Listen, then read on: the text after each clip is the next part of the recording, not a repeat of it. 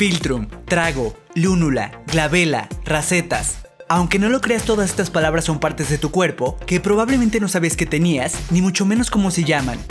Descubre 12 partes del cuerpo que no sabías que tenían nombre. Te presento a glabela, la parte plana en medio de tus cejas y por encima de tu nariz. Su nombre proviene de la palabra en latín glabellus, que significa sin pelo. Aunque esto no es del todo cierto, pues muchas personas tienen pelo en la glabela. Una cosa curiosa acerca de esta parte de tu cuerpo es que puede ayudarte a saber si estás deshidratado. Si la pellizcas de esta forma y la piel permanece unos momentos levantada, probablemente te haga falta beber agua. Las racetas son aquellas líneas que se forman cuando flexionas tu muñeca. Generalmente están formadas por dos o tres líneas perfectas que recorren de lado a lado tu piel. Sin embargo, con frecuencia algunas personas las tenemos separadas o incompletas. En sí no sirven para nada, pero según algunas culturas orientales, el tener unas racetas perfectas señala equilibrio físico y un cuerpo en forma. El surco del filtrum es la pequeña depresión entre tu labio superior y tu nariz. Esta hendidura está definida por dos ligeras crestas en la piel.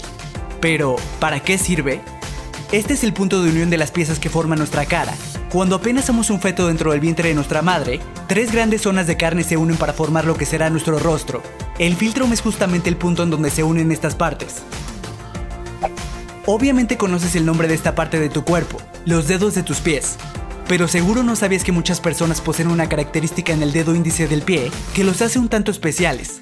Si tu dedo índice es más largo que el gordo, entonces perteneces al 15% de la población con pie griego o dedo de Morton. Esto no te hace deforme ni extraño, pues es un rasgo meramente genético. Aunque en el pasado las personas que tenían esta característica eran vistos como un símbolo de belleza, ya que el tener el pie de esta forma era sinónimo de perfección.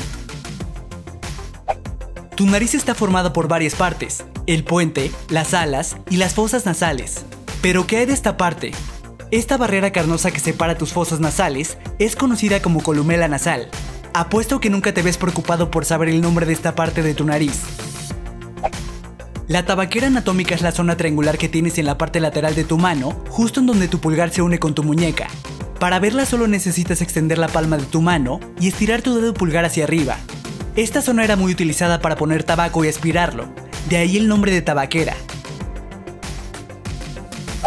En teoría el GoPen no es una parte de tu cuerpo como tal, sino el espacio que se forma cuando colocas ambas de tus manos juntas en forma de tazón. ¿Alguna vez te has preguntado cuál es el nombre de esta parte de tu oreja, la cual se ha vuelto una moda perforarse? Esta pequeña protuberancia de cartílago se llama trago, y si estás preguntándote para qué sirve o por qué la tienes, la respuesta es realmente sencilla. Hasta el día de hoy nadie sabe con seguridad cuál es su función, aunque muchos aseguran que ayuda a detectar mejor los sonidos a nuestro alrededor. ¿Qué harías si alguien te dijera que le enseñaras el purlicue? No seas mal pensado, el purlico es solo el espacio que separa tu dedo pulgar de tu dedo índice. ¿Alguna vez habéis escuchado hablar de los hoyuelos de Venus? Estos son dos pequeñas hendiduras que se forman en la espalda baja de algunas mujeres y hombres, justo por encima de los glúteos. No todas las personas los tenemos, pues son algo que se hereda por generaciones. Estos hoyuelos son considerados como un rasgo atractivo y único. ¿Tú los tienes? Las pequeñas medias lunas en la base de tus uñas tienen un nombre, lúnulas, en realidad estas son una especie de segunda uña por debajo de las que conocemos, solo que estas son extremadamente blandas y delicadas, por lo que deben mantenerse escondidas, ya que si llegaras a lastimarlas, tu uña podría quedar dañada para siempre. ¿Te has preguntado para qué sirve esa pequeña bolita rosa al principio de tu ojo? El lagrimal carúnculo es una pequeña protuberancia carnosa, y como su nombre lo dice aquí es en donde se producen las lágrimas.